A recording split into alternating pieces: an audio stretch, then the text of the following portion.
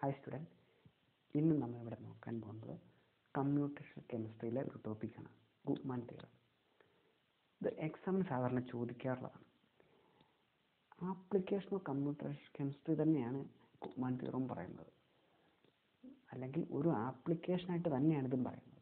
നമ്മൾ ലാബ് ചെയ്തപ്പം കണ്ടു മോളിക്യൂളിന്റെ bond length bond order electronegativity bond angle എല്ലാം നമ്മൾ കമ്പ്യൂട്ടർ വെച്ച് കണ്ടുപിടിച്ചു.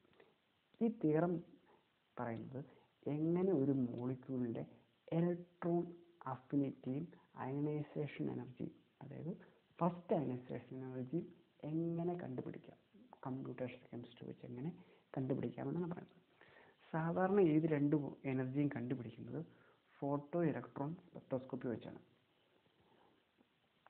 ആ എക്സ്പെരിമെന്റിൽ കിട്ടുന്ന വാല്യൂവിനോട് വളരെ അടുത്ത് നിൽക്കുന്ന ഒരു വാല്യൂ തന്നെയാണ് ഈ തിയറം വെച്ച് ചെയ്യുമ്പോഴും നമുക്ക് കിട്ടുക. അതുകൊണ്ട് തന്നെയാണ് ഇത് ഒരു ഇമ്പോർട്ടന്റ് ടോപ്പിക്കായിട്ട് തന്നെ പറയുന്നത്. ഇനി എന്താണ് അയണൈസേഷൻ എനർജി എന്നറിയാം. എന്താണ് ഇലക്ട്രോൺ അഫിനിറ്റി എന്നറിയാം. അയണൈസേഷൻ എനർജി എന്ന് പറഞ്ഞാൽ removal of an electron from HOMO highest occupied molecular ഓർബിറ്റിൽ നിന്ന് ഒരു ഇലക്ട്രോണെ റിമൂവ് ചെയ്യാൻ വേണ്ട എനർജിയാണ് അയണൈസ അയണൈസേഷൻ എനർജി എന്നും addition of an electron to a unoccupied orbit ഒരു അൺഒക്യുപ്പൈഡ് ആയിട്ടുള്ള ലൂമോയിലേക്ക്. ലൂമോയിലേക്ക് ഒരു ഇലക്ട്രോണെ ആഡ് ചെയ്യാൻ വേണ്ട എനർജിയാണ് ഇലക്ട്രോൺ അഫിനിറ്റി എന്ന് പറയുന്നത്. അല്ലെങ്കിൽ ഒരു ഇലക്ട്രോണെ ആഡ് ചെയ്യുമ്പോൾ റിലീസ് ചെയ്യുന്ന എനർജിയാണ് ഇലക്ട്രോൺ അഫിനിറ്റി എന്ന് പറയുന്നത്. ഇവിടെ ഈ തിയറം വെച്ച് പറയുമ്പോൾ എല്ലാ മോളിക്കൂളിനെ അല്ല ഇവിടെ കൺസിഡർ ചെയ്യുന്നത്? ക്ലോസ്ഡ് ഷെല്ലായിട്ടുള്ള ഓർബിറ്റൽ മോളിക്യൂളിനെ ആയിരിക്കും നമ്മൾ എടുക്കുന്നത്. ക്ലോസ്ഡ് ഷെൽ മീൻസ് എക്സാമ്പിൾ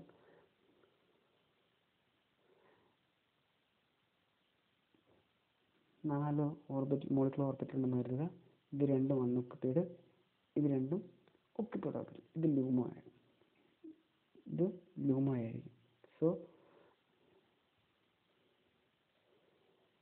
അതിന്റെ ഫില്ലഡ് ഓർബിറ്റിലെല്ലാം പെയർ ആയിരിക്കും എങ്ങനെ പറഞ്ഞാൽ മതി ഹോമോ ഫിൽ പെയർഡ് പെയർലി ഫില്ലായിരിക്കും ഹോമോ രണ്ട് ഇലക്ട്രോണും അതിനകത്ത് ഫിൽ ചെയ്തിരിക്കുന്നതുകൊണ്ടാണ് അതിനെ ക്ലോസ്ഡ് ക്ലോസ്ഡ് ഷെൽ സിസ്റ്റം എന്ന് പറയും നമ്മൾ പറഞ്ഞിരുന്നത് ഇത് ക്ലോസ്ഡ് ഷെൽ സിസ്റ്റം എടുക്കുമ്പം നമ്മൾ എടുക്കേണ്ട മെത്തേഡ് എന്ന് പറയുന്നത് റെസ്ട്രിക്റ്റഡ് ഹാർട്രി ഫോക്കും ഓപ്പൺ ആണെങ്കിൽ റെസ്ട്രിക്റ്റഡ് ഓപ്പൺ. ഹാട്ടൽ ഫോക്കും. ഓപ്പൺ ആണെങ്കിൽ എന്തായിരുന്നു? അതിന്റെ ഹോംവർക്കകത്ത് ഒരു ഇലക്ട്രോൺ മാത്രമേ അവിടെ ഉണ്ടാവുള്ളൂ. നമ്മളത് പറഞ്ഞതാണ്. സോ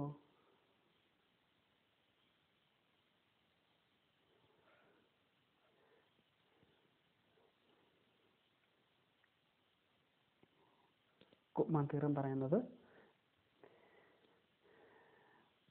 ക്ലോസ്ഡ് സിസ്റ്റത്തിലെ ഫസ്റ്റ് അയനൈസേഷൻ എനർജി ഇലക്ട്രോൺ അഫിനിറ്റിയാണ് പറയുന്നത്. ഇനി അങ്ങോട്ട് പോകുന്നതിന് മുമ്പ് തന്നെ ഒരു കാര്യം കൂടെ. അബ്നിഷ്യൂ കാൽക്കുലേഷൻ വഴി അബ്നിഷ്യൂ കാൽക്കുലേഷൻ വഴി ചെയ്യുമ്പോൾ നമ്മൾ ലാബ് ചെയ്തതൊക്കെ അബ്നിഷ്യൂ കാൽക്കുലേഷനാണ് അബ്നിഷ്യൂ മെത്തേഡ് വഴി പറയുമ്പോൾ ഒക്യുപ്പൈ ചെയ്തിരിക്കുന്ന എല്ലാ ഓർബിറ്റിന്റെ എനർജി എന്ന് പറയുന്നത് നെഗറ്റീവ് ആയിരിക്കും. ഒക്യുപ്പൈ ചെയ്തിരിക്കുന്ന എല്ലാ ഓർബിറ്റിന്റെ ഇലക്ട്രോൺ ഒക്യുപ്പൈ ചെയ്തിരിക്കുന്ന എല്ലാ ഓർബിറ്റിന്റെ എനർജി എന്ന് പറയുന്നത് നെഗറ്റീവ് ആയിരിക്കും. അൺഒക്യുപ്പൈഡ് ആണെങ്കിൽ പോസിറ്റീവ് ആയിരിക്കും അഭിനിഷു പ്രകാരം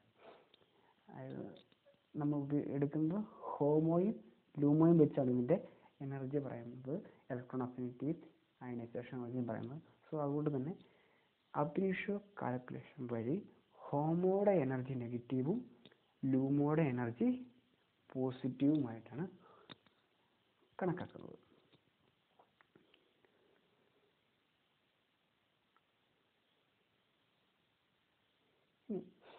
ഇതെങ്ങനെ പറയാമെന്നുള്ളത് നമ്മൾ പറഞ്ഞു നമ്മൾ ക്ലോസ്ഡ് സിസ്റ്റമാണ് എടുക്കുന്നത്. സോ അതിന്റെ ഫസ്റ്റ് അയണൈസേഷൻ എനർജി എന്ന് പറയുന്നത് ഹോമോയിൽ നിന്ന് ഒരു ഇലക്ട്രോണെ റിമൂവ് ചെയ്യുന്നതിന് വേണ്ട എനർജിയാണ്.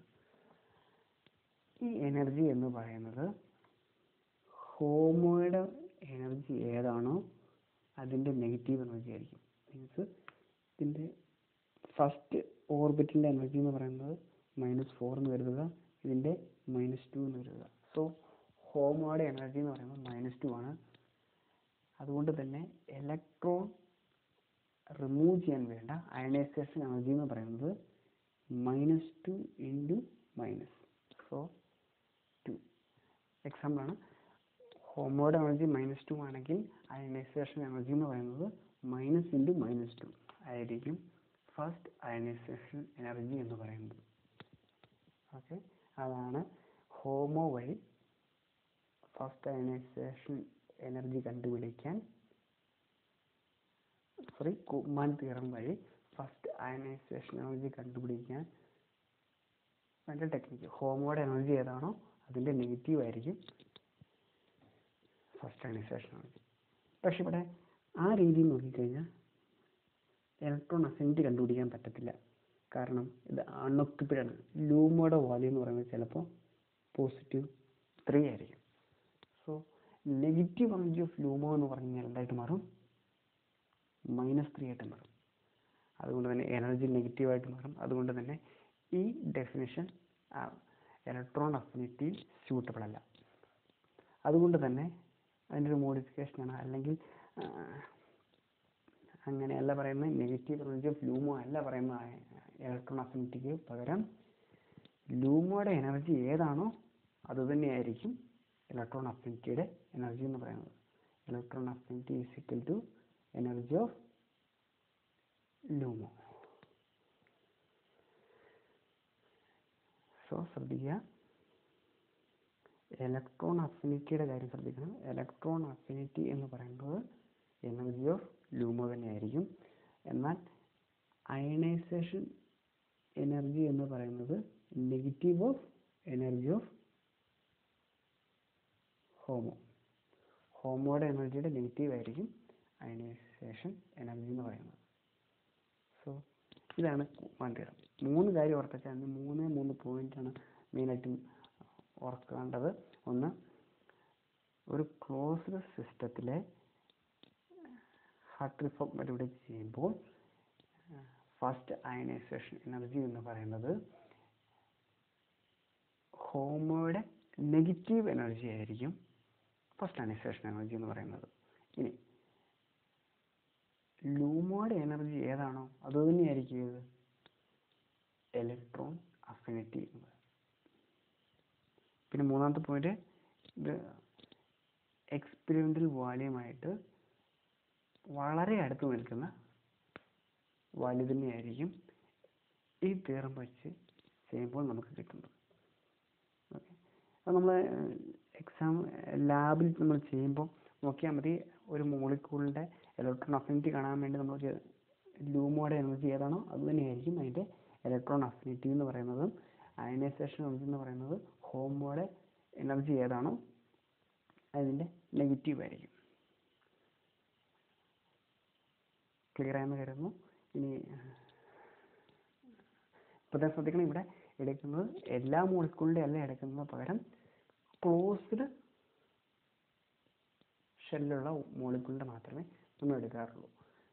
മെയിനായിട്ട് പറയാനുള്ളൂ കാരണം അതിന്റെ കുറച്ച് വ്യത്യാസമുണ്ട് ഓപ്പൺ സിസ്റ്റം. അപ്പം ഇലക്ട്രോൺ ഇലക്ട്രോൺ റിപ്പൽഷനും ഇലക്ട്രോൺ ന്യൂക്ലിയസ് അട്രാക്ഷനും ഒക്കെ വരുന്നതുകൊണ്ട് തന്നെ കുറച്ച് വ്യത്യാസം ഉണ്ടാകും. അതുകൊണ്ട് തന്നെ ക്ലോസ്ഡ് സിസ്റ്റത്തിലെ ഇലക്ട്രോൺ അഫിനിറ്റിയും അയണൈസേഷൻ എനർജിയാണ് കുമാൻ തിയറം വഴി